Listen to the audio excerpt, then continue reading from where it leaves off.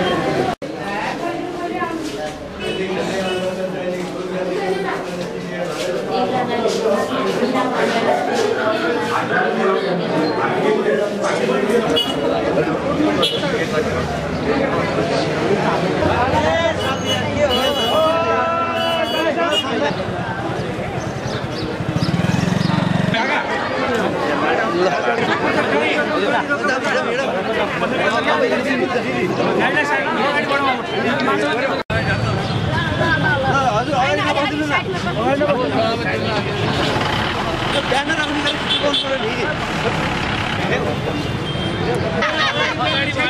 फोटोभन्दा पहिला त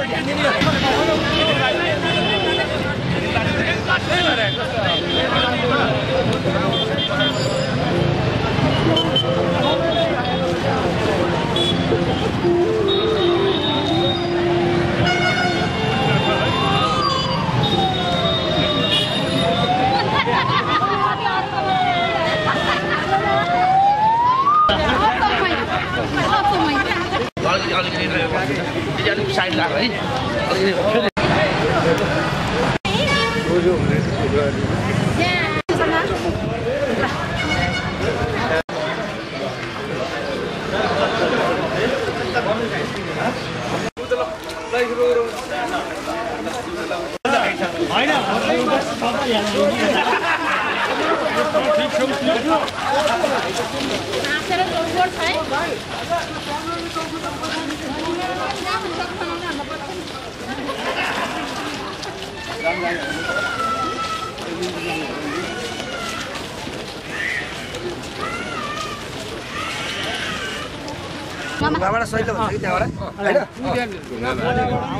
गरेको आन्दोलनका योद्धा आदरणीय नेता सुशील कोइरालाको अन्तिम कार्यक्रममा नेपाली काङ्ग्रेस चितवनका सभापति जितान श्रेष्ठज्यू नेपाली काङ्ग्रेस केन्द्रबाट खटेर आउनुभएका यस कार्यक्रमको लागि केन्द्रीय प्रतिनिधि आदरणीय युवा नेता केन्द्रीय सदस्य नवीन्द्र जोशीज्यू निवर्तमान सभापति टेक प्रसाद गुरुङज्यू माननीय रामकृष्ण घिमिरेज्यू माननीय विष्णुमाया परियारज्यू सावित्री चौधरीज्यू पूर्व सांसदज्यूहरू पूर्व माननीय ज्यूहरूलाई संयुक्त रूपमा यो अस्तु नारायणी नदीमा सिलाइदिनुलाई म हार्दिक अनुरोध गर्दछु।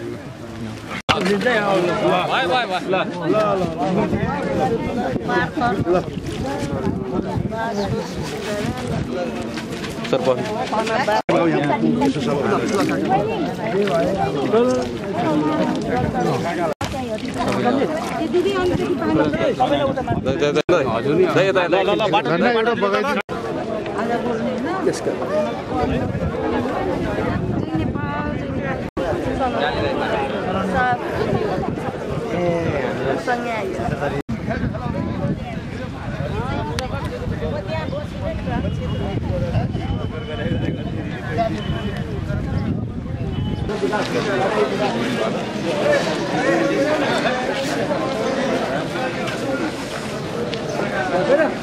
Gracias.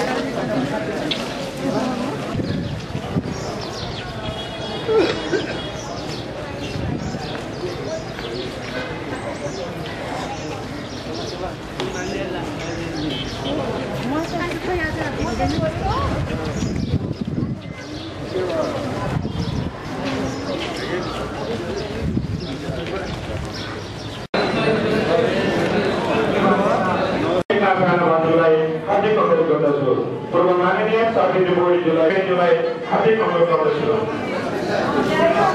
क्षेत्र अनुसार चित्रवन नगरपालिकाका सभापति शालिग्राम पौडेलज्यूलाई हार्दिक अनुरोध गर्दछु नारायणी नगरपालिकाका सभापति टिकरा भट्टराईज्यूलाई हार्दिक अनुरोध गर्दछु कमल भूषालज्यूलाई हार्दिक अनुरोध गर्दछु कालिका नगरपालिकाका सभापति राजु शेट्टी सदस्य राजेन्द्र बुढाकुटीज्यूलाई हार्दिक अनुरोध गर्दछु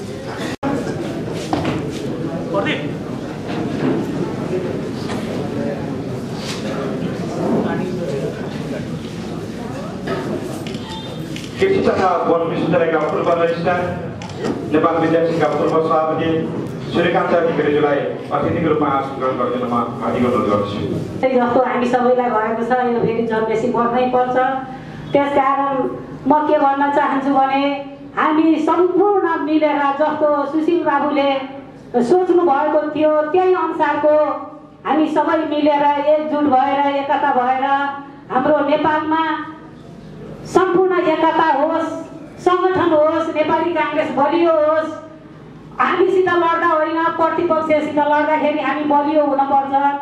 हाम्रा दिदी बाबुका सुशील बाबुका सम्पूर्णका सपना साकार पार्नुपर्छ। त्यसकारण हामी आफूमा लडेर होइन बाहिरमा लड्न सक्ने क्षमता होस्। गर्न पनि हामी बसेका छौँ र सबै आदरणीय अग्रज नेता लगायत सम्पूर्ण महानुभावहरू उहाँहरूप्रति भातुड पनि श्रद्धाञ्जली अर्पण गर्न पनि उपस्थित हुनुभएको छ। म थोरै कुरा धेरै कुरा भन्न चाहन्न थोरै कुरा नेपाली काङ्ग्रेसले आफ्नो स्थापना काल बिबी गैराले पार्टी स्थापना गर्दा पैँसठी वर्ष अगाडि परिकल्पना गर्नुभएको थियो। संविधान सभाद्वारा संविधान निर्माण गरेर ना भन्दा उत्कृष्ट संविधान दिएर जानुभएको छ। उहाँको उहाँलाई हामीले श्रद्धाञ्जली गर्ने हो यदि भने हामीले उहाँले देखाएको बाटो कहिल्यै बिर्सनु हुँदैन। भन्दै मेरो सभापति सुशील दा यो मुलुकको संविधान निर्माण गरेर देखाउनु भयो म त्यसैले संविधानको पिता आदरणीय सुशील दाप्रति नतमस्तक हुँदै भावपूर्ण श्रद्धाञ्जली अर्पण गर्न चाहन्छु। म श्रद्धासुमन व्यक्त गर्न चाहन्छु। राजनीतिमा के बोल्दैछ आदरणीय सुशील दाले देखाउनु भयो राजनीति पेसा होइन। राजनीति जीवन पद्धति हो राजनीति सेवा हो सर्भिस हो राजनीति त समाजलाई हो राजनीति समाज परिवर्तन हो। बोल्नु भएन तर उहाँहरू देखाउनु भयो मलाई लाग्छ आज हामी उहाँका अनुभवी काङ्ग्रेसहरू आज के बोल्दैछौँ होइन हामी के गर्दैछौँ? आज हामी शोकको घडीमा छौँ। शोक मनाइरहेका छौँ। आज तेह्रौँ दिनमा शोक सभा श्रद्धाञ्जली सभा राख्नेछौँ। हामीसँग दुईवटा अनुभूतिहरू छन्। एउटा काङ्ग्रेस शोकमा छ अर्को हामी नयाँ निर्वाचन यो तेह्रौँ महानिसको जिल्ला मार्फत जिल्लामा नयाँ निर्वाचन मार्फत नयाँ नेतृत्व ल्याएका छौँ र त्यसमा ऊर्जा छ। स्रोत र ऊर्जा हामी सँगसँगै छौँ दुईवटा अनुभूतिहरू छन्। अब स्रोतलाई शक्तिमा बदल्नु जरुरी छ चिन्तालाई चिन्तनमा बदल्नु जरुरी छ। मेरो पनि सपना थियो कि काङ्ग्रेसको चितौँलाई यस्तो बनाउने दुर्भाग्य म मेरो नेतृत्वमा परि- परिवर्तन गर्न त्यो अवसर पाइनँ तर मैले यो अवसर पाएको छु। मेरो आदरणीय साथी जितनारायणजी सभापति हुनुहुन्छ। म उहाँको सपनालाई मेरो सपना पनि थप्दै यो चितवन काङ्ग्रेसलाई अझ नयाँ जोसका साथ अगाडि बढाउन म यहाँहरूको साथ म निवेदन गर्न चाहन्छु। उपस्थित भएका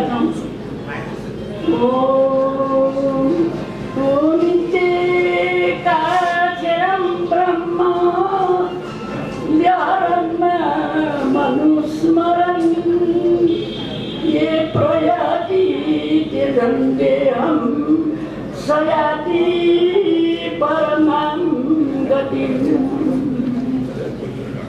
श्री कृष्ण गोविंद हरे मुरारे हे नाथ नारायण वासुदेव श्री कृष्ण गोविंद हरे मुरारे हे नाथ नारायण वासुदेव हामी सबैलाई ठुलो चिन्ता लागेको छ। हाम्रो संविधानको पिता हामीलाई छोडेर जानुभयो। मित्रबाबु बित्दाखेरि मैले भनेको थिएँ सुशील दाई हाम्रो दाहिने हात गयो पार्टीको के गर्ने सुशील दाई भन्दाखेरि दाहिने हात गए पनि जेप्रे हात छ मेरो भनेर यस गरेर देखाउनु भएको थियो। त्यो शब्द मेरो कानमा गुन्जिरहेछ। अनि अर्को कुरा मलाई मेथीको अचार एक सिसी बनाएर ल्याऊ है। तपाईँ आउँदा भन्नुभएको थियो मैले त्यो पनि पुरा गर्न सकिनँ। कस्तो कस्तो लाग्यो मलाई। दुःखमा आउनुहुन्थ्यो। मासु पकाए अन्डा नबनाऊ। अन्डा बनाए मासु नबनाऊ। सारा नगौ यस्तो तरकारी यस्तो बनाऊ। भन्नुहुन्थ्यो पहिला पहिला। सन्तले महन्तले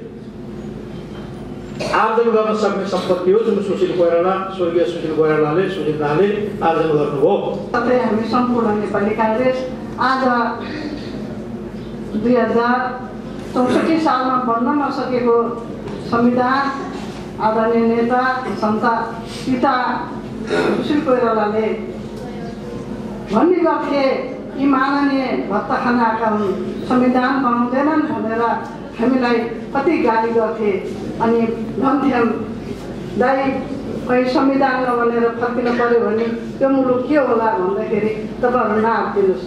म संविधान बनाएर छोड्छु। जनतालाई सुशान शासन दिएर जान्छु भन्नु भनेर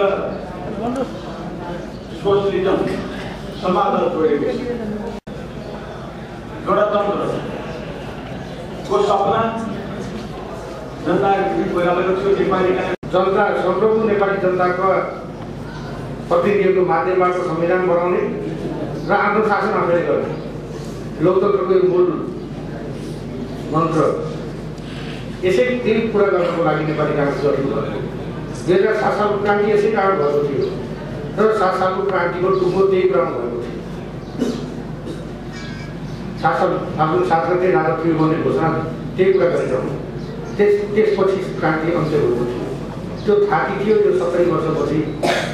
सुशील कोइरालाको नेतृत्वमा त्यो काम पुरा भएको त्यसकारण धेरै ठुलो बितेर काम हो तर अमल हो। गर्नु सबैको सोध्नुपर्छ के छ भने समाज विरोधी एउटा सरकारले संविधानका नाममा फाली नै थियो त्यसबाट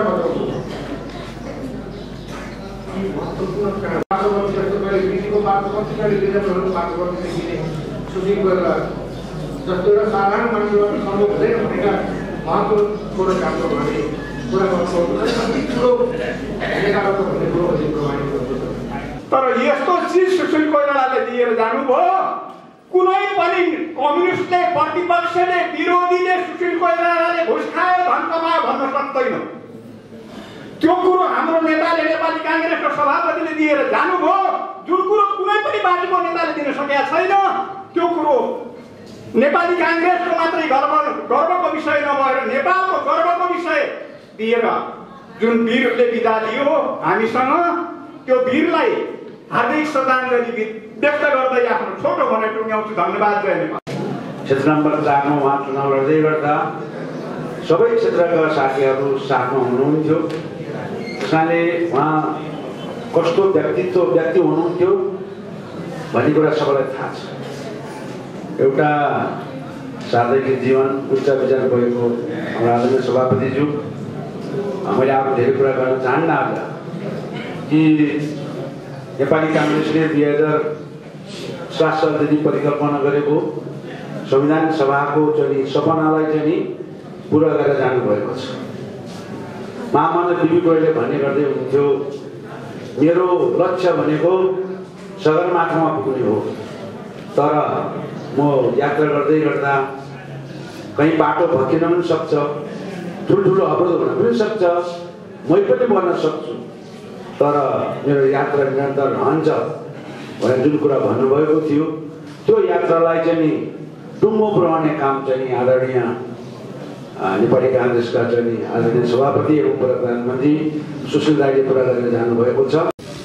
आज हामीले सुशील कोइरालालाई सम्झिनुपर्ने बारेमा धेरै हाम्रो नेतागण साथीहरूले अग्रज व्यक्तित्वहरूले प्रकाश पारिसक्नुभएको छ। काङ्ग्रेस यो राष्ट्रमा सबैभन्दा ठुलो र क्रान्तिकारी परिवर्तन कसैको नेतृत्व भएको छ भने नेपाली काङ्ग्रेसको नेतृत्व र नेपाली काङ्ग्रेसबाट त्यसैले जनताले धेरै अपेक्षा राखेका हुन्छन् आफ्नो जीवनका सकारात्मक परिवर्तनका अपेक्षा राष्ट्रलाई सबल बनाउने अपेक्षा जनताको सुना बढी भरोसामन पार्टी नेपाली काङ्ग्रेस यो मिसन स्वामीले भन्नुभएको काङ्ग्रेसमा हामी कफन बाँधेर लागेको नेपाली जनताको दुःख दर्द मेटाउन र सबल राष्ट्र निर्माणको लागि कुनै पद प्रतिष्ठाको लागि। र सुशील राई एउटा यस्तो व्यक्तित्वको रूपमा आफू प्रस्तुत गर्नु। कि उहाँलाई पदसँग प्रतिष्ठासँग वास्तवमा जो सरोकारको विषय एउटा लक्ष्य राख्नु त्यो लक्ष्यमा पुग्नका लागि जुनसुकै जस्तो सुकै जोखिम लिन पनि तयार त्यसलाई अगाडि बढाउने जिम्मेवारी हामी सबैको छ मान्छे अझ छैन अमर छैन व्यक्ति अझ अमर हुँदैन संस्था अझ अमर आज सुशील दालाई श्रद्धाञ्जली दिइरहने क्रममा हामी सबै काङ्ग्रेसका साथीहरू पार्टीका साथीहरू एउटा हामीले संस्थालाई अझ अमर कसरी बनाउन सकिन्छ?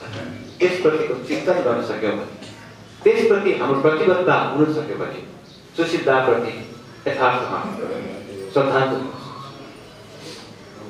हाम्रो नेतागण बिपीले भन्नुभएको थियो काङ्ग्रेसको सदस्य प्रत्येक सदस्य जनताको माझमा गएर आफ्नो नैतिकता र आचरणबाट आफूलाई प्रमाणित गर्न सुवर्णले भन्यो संस्था व्यक्तिभन्दा महत्त्वपूर्ण हुन्छ। जीवनको जोखिम पनि लिन तयार भएका छन् तर लोकतन्त्रका लोकतान्त्रिक मूल्य र मान्यताका विरुद्धमा मैले कसैसँग यो आदर्शप्रति यो मान्यताप्रति काङ्ग्रेसको जुन अडान त्यही आज काङ्ग्रेस र जनताको घरको रूपमा काङ्ग्रेसले बस्न सकेको पनि कारण आज आन्दोलनमा तिस वर्ष पञ्चायतसँग त्योभन्दा अगाडि राणा शासकसँग र त्यसपछि साम्यवादीहरूसँग वातावरण एउटा तयार गर्नु किसनजीलाई गणेश मानजीलाई अन्तिम बेला र मैले नेताहरूसँग मैनाजीसँग पनि अन्तिम अन्तिम बेला शेख इद्रिससँगै पनि अन्तिम अन्तिम बेला हिमालयसँगै पनि